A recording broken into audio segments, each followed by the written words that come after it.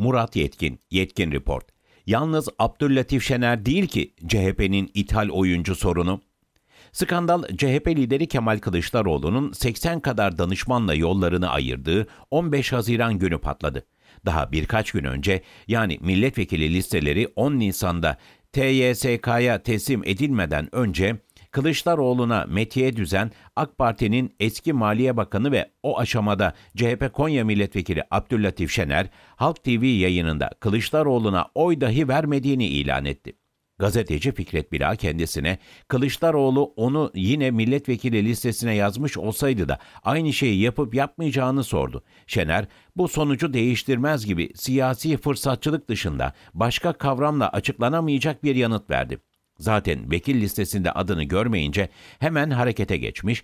Önce Türkiye Büyük Millet Meclisi Başkanı Mustafa Şentop'un oğlu Bedirhan Şener'i meclis başkanlığındaki kadrosunu onaylamaya ikna etmişti.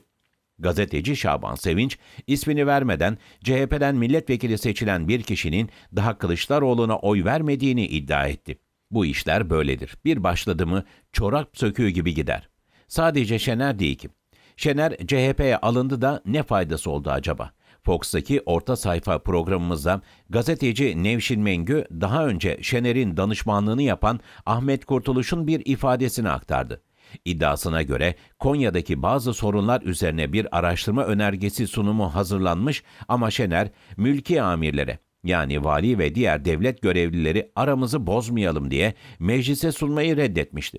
O dönem Başbakan, Cumhurbaşkanı Tayyip Erdoğan tarafından AK Parti'nin ilk 11'den çıkarılmış olan Şener, CHP seçmeninin oylarıyla yeniden meclise dönmüştü ama anlaşılan gözü arkada kalmıştı.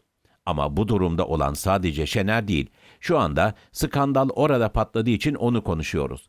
Sadece AK Parti, MHP kökenlileri değil, merkez sağdan da artık kendi siyasi akımlarında miatlarını doldurmuş, yer bulamamış siyasetçilerin 4. 5. 6. 7. dönem milletvekilliklerinin sefasını CHP'de sürdükleri ortada. CHP'nin Meclis Grup Başkanı Özgür Özel, Şener'in açıklamalarını içi kanayarak izlediğini söyleyip, onu seçtirmek için üstü çizilen CHP adayından özür diledi. Yıllarca CHP'nin gençlik kollarında, kadın kollarında çalışmış kişiler, il ve ilçe başkanları kendilerinin siyasi hakkı olduğunu düşündükleri aday listelerinde başka partilerden ithal isimler gördüler.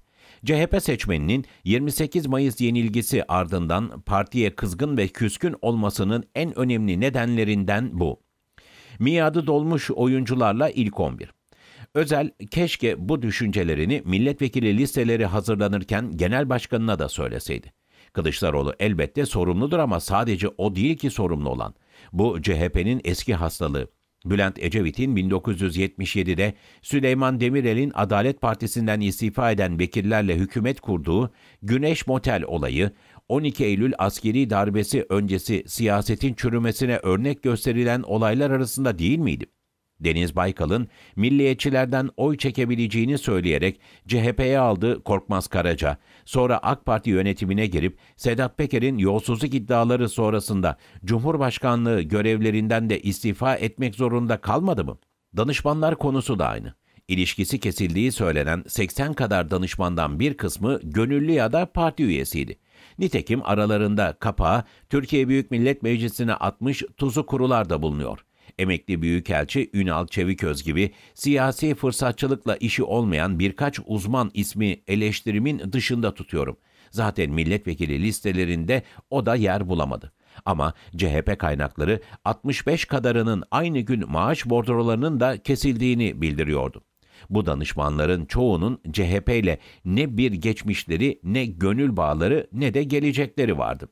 CHP, kendi tabanındaki üye yapısını çeşitlendirip genişletmek yerine rakip partilerle miadını doldurmuş, futbol deyimiyle artık yedek kulübesinde dahi yer verilmeyen, kerameti kendilerinden menkul oyuncularla ilk 11 kurma çalışmasına devam ettiği müddetçe daha çok Abdüllatif Şener skandalı yaşanır. Ama CHP seçmeninin sabrı o kadar dayanır mı ondan emin değilim. Abone olmayı ve bildirimleri açmayı unutmayın.